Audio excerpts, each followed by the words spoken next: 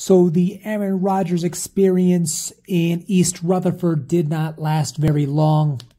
I guess we're going to have to wait and see what the severity is of his ankle injury. Let's do a quick halftime rip.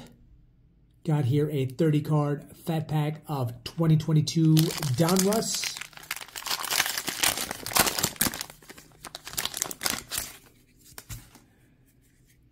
Darius Slay, Jakobi Myers, Lamar, Hall of Famer Curtis Martin, Hall of Famer John Randle, Saquon,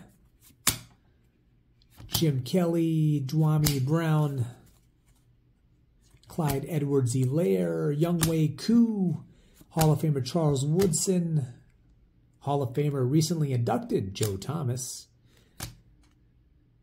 Minkah Fitzpatrick, Darnell Mooney, Jaire Alexander, Laviska Shenault, Sony Michel, DK Metcalf, TJ Hockenson. We got some rookies here Calvin Austin, Perrion Winfrey, Kenneth Walker. Oh, we have a Dominators of Deebo. How about those Niners stomping out the Yinzers yesterday? Very nice.